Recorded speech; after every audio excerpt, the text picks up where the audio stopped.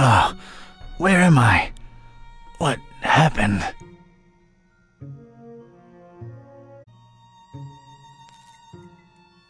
There was no time for anything else. All I wanted was to get out of that dump pronto. Hey, you out there! Let me out of here, you dirtbags! Come on, who's out there? Hello? Nothing.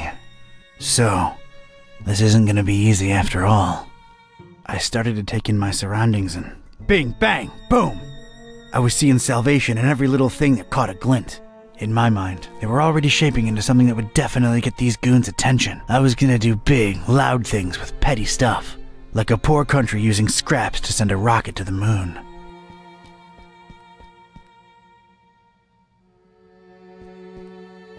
I could use this.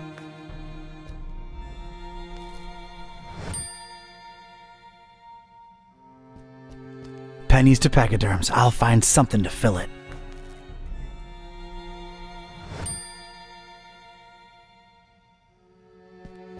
Hmm, extremely powerful, huh? Sounds like a rocket of a time.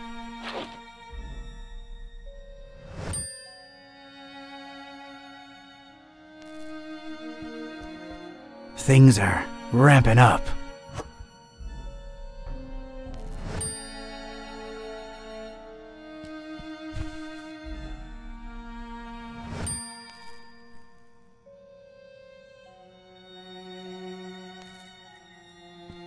I'm sorry, I I can't do it. Not since the separation. I ain't putting on slippers unless I'm at home in my robe with a stiff drink, a Maurice Ventacool record, and a searing fear of the telephone.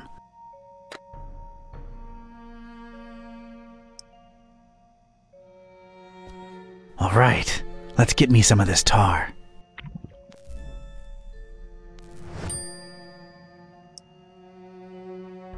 Here we go.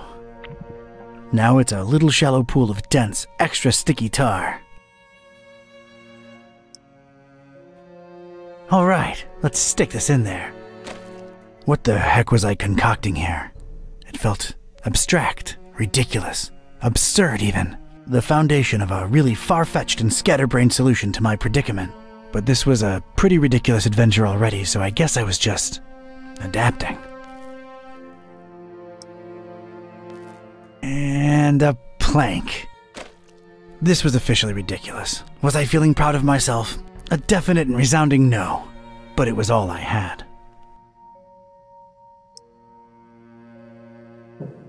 Look at this. A cringeworthy blue ribbon taker in the crazy enough that it could work regional semifinals. Definitely not a highlight in my career. Assuredly not a low, though. Maybe those late night Mac Viper and mac and cheese syndicated binges had some kind of effect on my person. Good old Mac. And cheese. All right, door. Brace for a serious, imminent impact. Prisoner. The boss wants to see you. Come on out here. You have got to be kidding me. Mr. Ketype, or should I call you Don? No, you shouldn't. Ketype will do just fine. We provided you with some slippers. Did Brother Gleam not assess your shoe size correctly? Now listen here, Buster. Unless I'm in the comfort of my own home, I don't do slippers. You can leave a man pantless, shirtless even, but don't mess with his footwear symmetry, you barbarian. What is this place and who are you anyway? This is about that damned book, isn't it? How deductive. Earning your keep, huh? Come now, don't take it personally, Ketype. You were useful in leading us to it for a while, and then you were no more. We never really wanted to hurt you, or your shoes. You're sullen, grumpy, and mean to everyone. We like you. You would have gone far in our organization. Hmm, well, did you find the darn thing?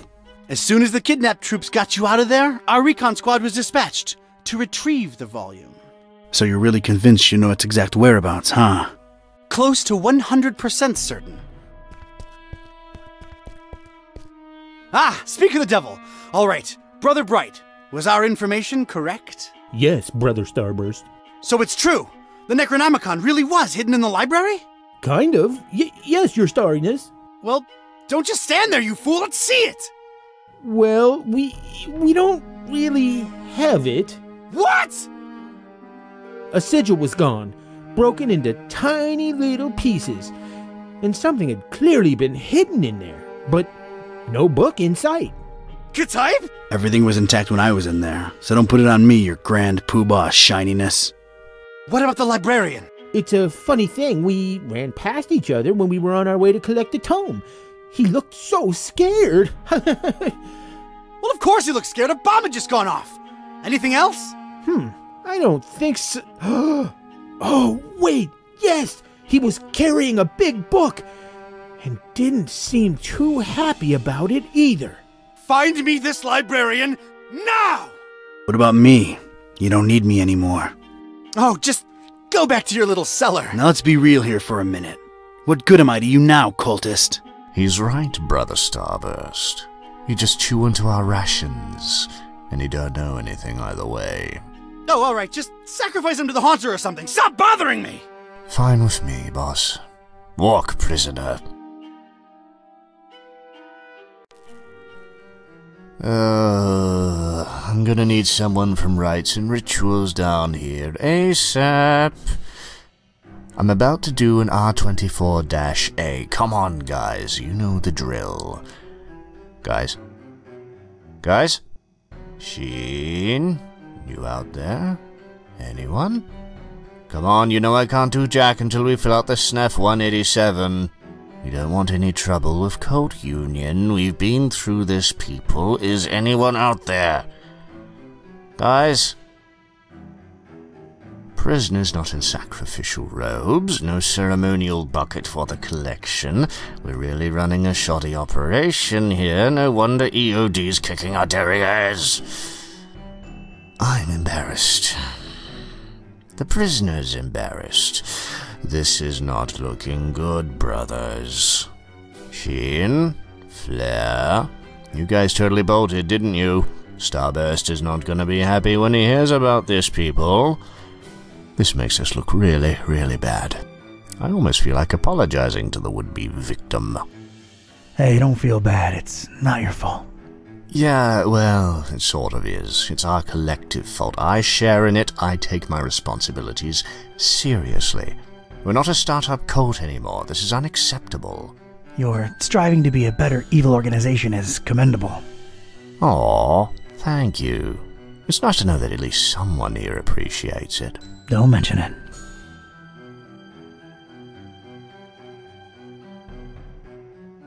My dagger arm's falling asleep here, and I'm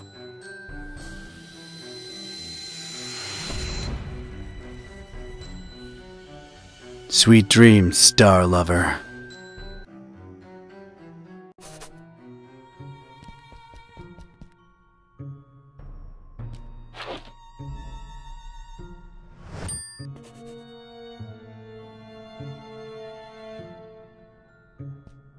Brother Gleam is sleeping off a particularly demanding day. Got a serious structural hazard over here.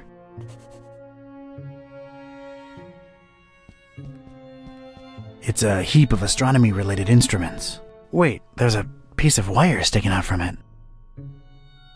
I think I'd rather just pick it up.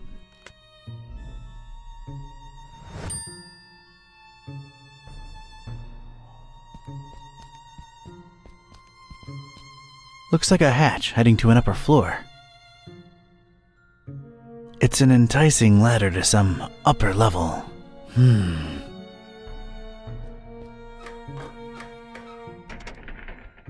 Damn it, how'd I know it'd be locked?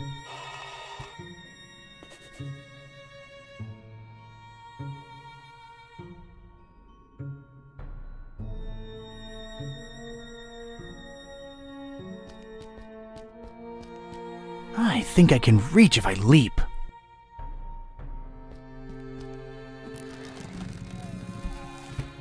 I never thought I'd say this, but I don't think I'm heavy enough. Me or the stuff I'm lugging around.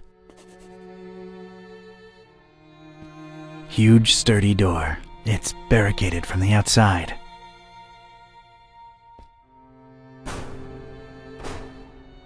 barricaded from the other side. Makes sense that they'd shut me in here, but it seems that they don't think too highly of that Gleam guy either.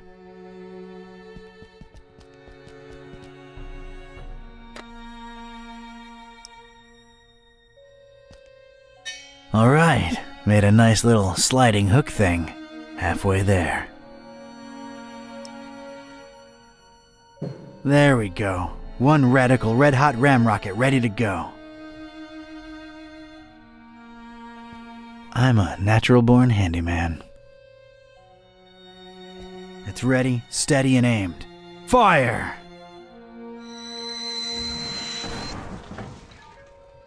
I hope I've done you proud, Mac Viper.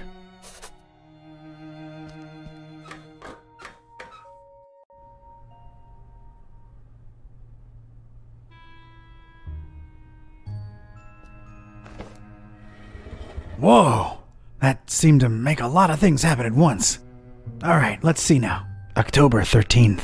It's so hard to get accustomed to the sickening stench of this dreadful fishing town, but apparently it's important to him that we establish our base here, so we just take it.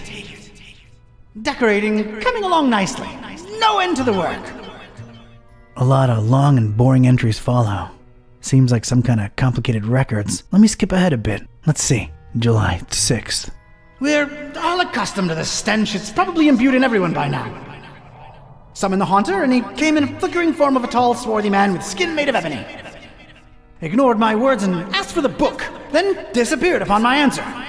We must find it, no matter what. July 13th. His incomplete form is frustrating. Must find the book. We must find it. Idiot Bright left the hatch open, and Lumen snuck up here into the summoning chamber to try to get the Haunter's mark. What did the fool think would happen? We don't even bother storing their ashes in the urn anymore. Just leave them there as a reminder to anyone stupid enough to try that again. August 6th.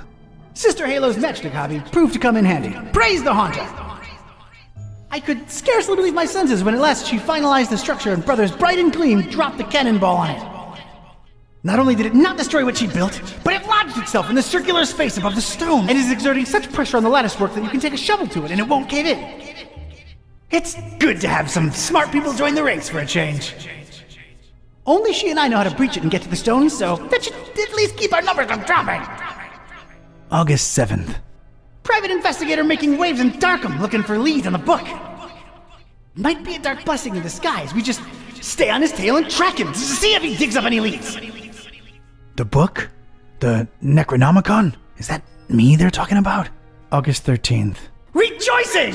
It's very possible that the hostess's fetch dog has sniffed out the book. Time to retire him and go for the prize ourselves. Hostess. Why did that sound familiar? Anyway, that crazily angled stone. I wanted it. If only to get back at these star obsessed maniacs.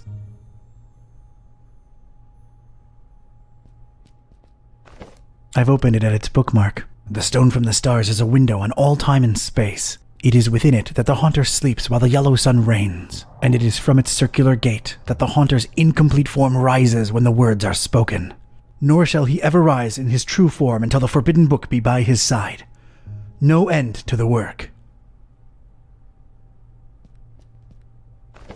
I've opened it at its bookmark. It is known that touching the stone from the stars might cast upon a mortal being the mark of the haunter. But none should do it unless prepared to face his cold black flames and turn to ashes and dust. No living soul can know whom the haunter chooses to mark and grant vision beyond time and place. No end to the work. I've opened it at its bookmark. For the butcher is the end of all, and the followers of him who lingers at the night's threshold must keep the slaying one from ever setting eye or laying hand upon the book. The butcher brings but. The rest is unreadable. The butcher? Huh. That's new. Whoa!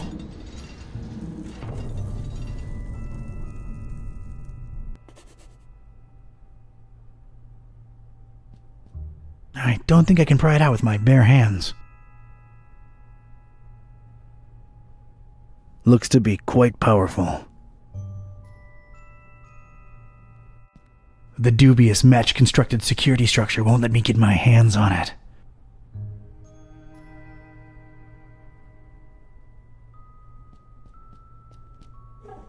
Inside the dusty drawer, there was one solitary rusty spoon. Unwritten private investigator wisdom says you never know when you could use a rusty spoon.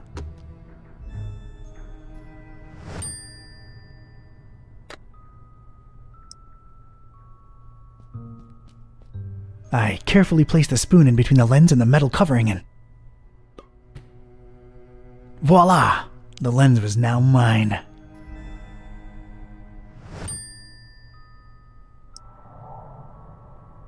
The lens is way too dirty to let any light pass through.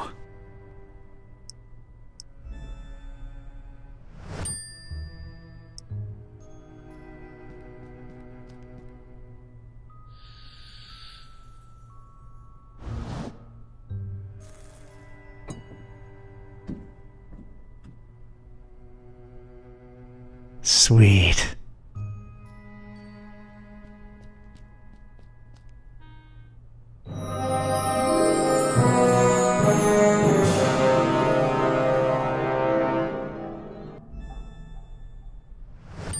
I most certainly did not burst into cold black flames.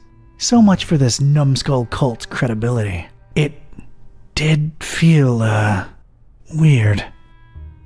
Weird.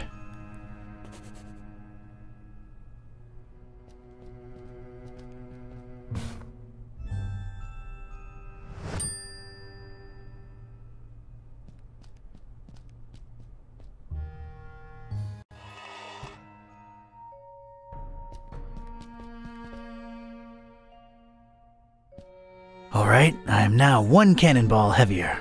Let's see what happens.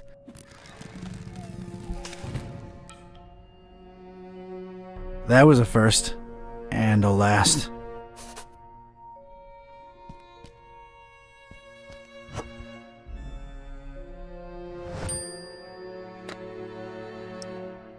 It's the crazily angled rock I lifted off these starheads. I hope I'm wrong, but I feel like it's somehow working on me. Damn.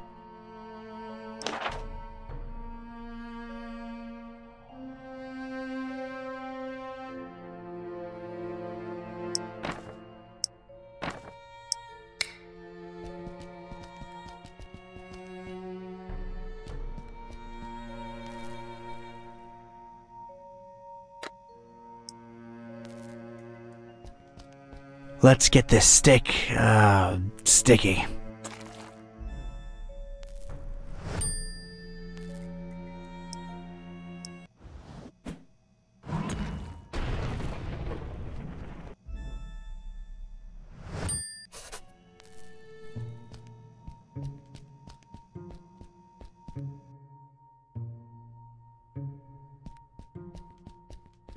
Looks like a healthy crack it might spell its doom.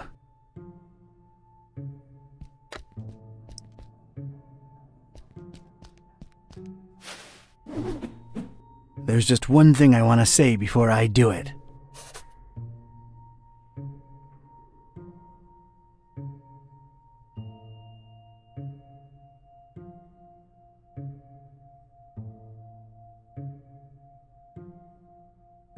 Hammer time!